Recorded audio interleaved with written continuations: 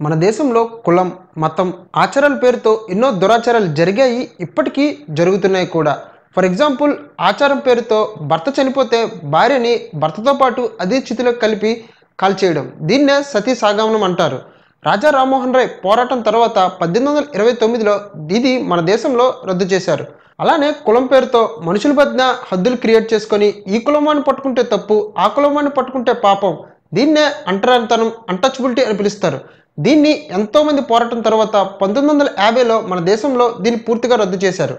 కానీ ఇప్పటికీ ఈ ట్వంటీ ఫస్ట్ సెంచురీలో కూడా మతంలో ఉన్న ఆచారం పేరుతో కొంతమంది ముస్లిం భర్తలు వాళ్ళ భార్యలకి వాళ్ళ స్వార్థం కోసం తలాక్ తలాక్ తలాక్ అని చెప్పి వదిలేస్తున్నారు. అందులో కొన్ని పోలీస్ స్టేషన్లో రిజిస్టర్ అయిన కంప్లైంట్స్. భర్త తాగొస్తున్నాడని వాళ్ళ తల్లిదండ్రులకు చెప్తే మనోడు కోపం వచ్చి ఆమెకి తలాక్ ఇచ్చి ఇంట్లో నుంచి బయటికి గెంటేసిన సంఘటన. అలానే పెళ్ళైన రెండు రోజులకే ఇంకో అమ్మాయి నచ్చిందని చెప్పి భార్యకి వాట్సాప్లో తలాక్ తలాక్ తలాక్ అని చెప్పి వదిలేసిన సంఘటన. ఇంకా మూడవది మరీ దారుణం. భార్య న్యూడ్ పిక్స్కి పర్మిషన్ ఇవ్వలేదని తలాక్ చెప్పి వదిలేసిన సంఘటన. ఇలా చెప్పుకుంటూ పోతే చాలా సంఘటనలు ఉన్నాయి అలాంటి కదే షైరా బానుద్ కూడా. భర్త తలాక్ ఇచ్చాడని చెప్పి పోలీస్ కంప్లైంట్ ఇచ్చి ఊరుకోకుండా పోరాడింది. సుప్రీంకోర్టు వరకు వెళ్ళింది. ఫైనల్గా ఈరోజు ఆమె వల్ల మన దేశంలో ఇన్స్టెంట్ త్రిపుల్ తలాక్ని రద్దు చేశారు. అయినా సొసైటీలో ఇలాంటి దురాచారం జరుగుతుందని తెలిసిన గవర్నమెంట్ ఎందుకు ఏం చేయలేకపోయింది? అసలు ఈ త్రిపుల్ తలాక్ అంటే ఏంటి? త్రిపుల్ తలాక్ గురించి ఖురాన్ ఏం చెప్తుంది మీకు తెలుసుకోవాలనుందా? అయితే ఈ వీడియోని ఎండ్ వరకు చూడండి. ముందుగా తలాక్ అంటే డైవర్స్ అని అర్థం. అకార్డింగ్ టు ఇస్లాం లా ప్రకారం మ్యారేజ్ అనేది జస్ట్ కాంట్రాక్ట్ మాత్రమే. భర్త భార్యకు విడాకులు ఇస్తే తలాక్ అని పిలుస్తారు. అదే భార్య భర్తకు విడాకులు ఇస్తే కులా అని పిలుస్తారు. భర్త భార్య మ్యూచువల్ అండర్స్టాండింగ్తో విడిపోతే దాన్ని ముబారత్ అని పిలుస్తారు. మన దేశంలో తలాక్ని బ్యాన్ చేశారు కనుక తలాక్ గురించి మనం తెలుసుకుందాం. ప్రపంచం అంతటా మూడు రకాల తలాక్లని ఫాలో అవుతారు. అందులో మొదటిది తలాక్ ఈ ఆ హసన్ రెండవది తలాక్ ఈ హసన్ మూడవది తలాక్ ఈ బిద్దత్. ముందుగా ఖురాన్లో ప్రాఫిట్ మహమ్మద్ తలాక్ గురించి ఏం చెప్పారో ఒకసారి చూద్దాం. అంతకన్నా ముందు మహమ్మద్ అంటే క్రిస్టియన్స్కి జేసస్ ఎలాగో ముస్లిమ్స్కి మహమ్మద్ అలాగా. According to prophet Muhammad divorce అనేది ఒక పాపం. కానీ తప్పని పరిస్థితుల్లో తీసుకోవాలంటే దాని గురించి అతను ఒక మంచి ప్రాసెస్ రాసి పెట్టారు. ముందుగా భర్త భార్యకు విడాకులు ఇవ్వాలి అని అనుకుంటే పెళ్ళి చేసిన పెద్దల ముందుకు భార్యను తీసుకెళ్ళి మొదటిసారి తలాక్ అని చెప్పాలి. ఇలా చెప్పిన తర్వాత కొన్ని కండిషన్స్ అప్లికబుల్ అవుతాయి. అందులో మొదటిది తలాక్ చెప్పిన వెంటనే భార్య ఇంట్లోంచి బయటకు వెళ్ళాల్సిన అవసరం లేదు. ఆమె ఇంట్లోనే ఉండొచ్చు. ఆమెకి రావాల్సిన రైట్స్ అన్నీ వస్తాయి.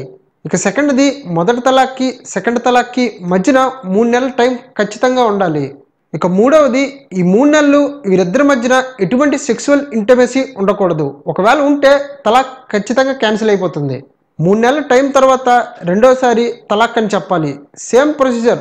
నేను ముందు ఏదైతే నేను చెప్పానో ఇక్కడ కూడా మూడు నెలల టైం ఉంటుంది. ఈ మూడు నెలలు అయిన తర్వాత మూడోసారి తలాక్ చెప్తే వీళ్ళిద్దరి మధ్యన ఉన్న మ్యారేజ్ కాంట్రాక్ట్ పూర్తిగా డిజాల్వ్ అయిపోతుంది. ఇప్పటి వరకు నేను చెప్పిన ప్రాసెస్ పేరే తలాక్ ఈ ఆ హసన్ ఇది ప్రపంచం అంతటా ఎప్రూవ్ అయిన ప్రొసీజర్. ఇక సెకండ్ టైప్ తలాక్ ఈ హసన్ ఫస్ట్ దానికి దీనికి చిన్న తేడా ఉంటుంది. అదేంటంటే మొదటిసారి అక్కడ తలాక్ ఒకసారి చెప్తాం. కానీ ఇక్కడ మొదటిసారి మూడు సార్లు తలాక్ తలాక్ తలాక్ అని చెప్పాలి. ఇలా మూడు నెలలు మూడు సార్లు చెప్పితే వీళ్ళిద్దరి మధ్యన ఉన్న మ్యారేజ్ కాంట్రాక్ట్ క్యాన్సిల్ అయిపోతుంది. ఇక మూడవది తలాక్ ఈ బిద్దత్. మన దేశంలో ఇప్పుడు బ్యాన్ చేసింది దీన్నే. దీని ప్రకారం భర్త భార్యకి మూడుసార్లు తలాక్ తలాక్ తలాక్ అని చెప్తే వారిద్దరి మధ్యన ఉన్న మ్యారేజ్ కాంట్రాక్ట్ పూర్తిగా రద్దయిపోతుంది తలాక్ ఈ బిద్దత్. ఇందులో బిద్దత్ అంటే ఇన్నోవేషన్. ఇది ఖురాన్ వచ్చిన తర్వాత కొంతమంది దీన్ని ఇన్నోవేట్ చేశారు. అందువల్ల ఇది ఖురాన్ అప్రూవల్ కాదు. దీన్ని చాలామంది మన దేశంలో వ్యతిరేకిస్తున్నారు. ఆ వ్యతిరేకించిన వారు అందరూ ముస్లిం మహిళలే. నేను ముందు చెప్పిన ఈ రెండు ప్రాసెస్లకి కొంత సఫిషియంట్ టైం ఉంటుంది. సో ఏదో కోపంలో మొదటిసారి తలాక్ చెప్పినా కొంత టైం ఉంటుంది కనుక గొడవ సర్దుబట్టే ఛాన్స్ ఉంది. కానీ ఈ మూడవ దానికి ఎటువంటి టైం ఉండదు. ఇన్స్టెంట్గా అంతా జరిగిపోతుంది. సో తర్వాత బాధపడినా ఎటువంటి ప్రయోజనం లేదు.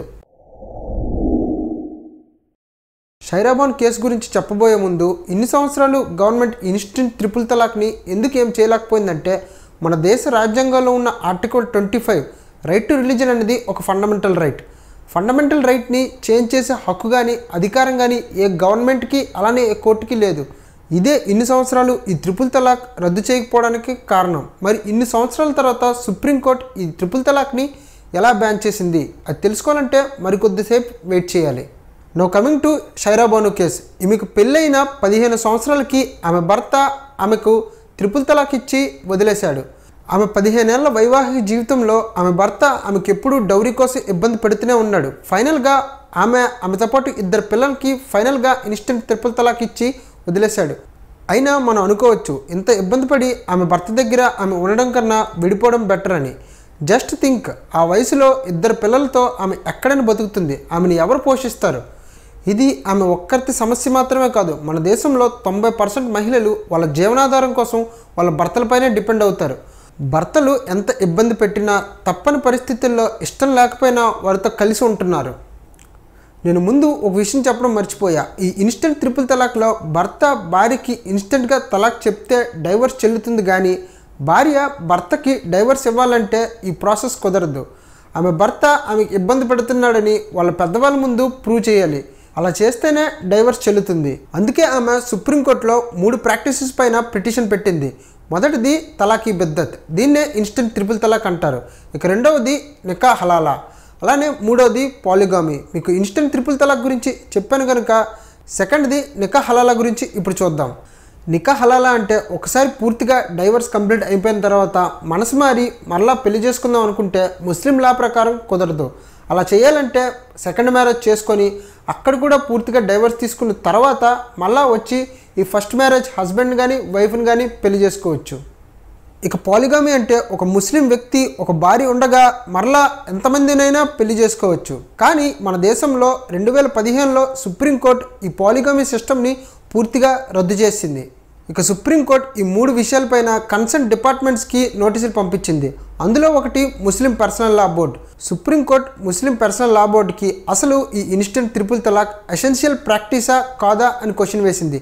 దీనికి ముస్లిం పర్సనల్ లా బోర్డ్ ఇది ఖురాన్లో లేదు కనుక ఇది ఎసెన్షియల్ ప్రాక్టీస్ కాదు అని జవాబిచ్చింది.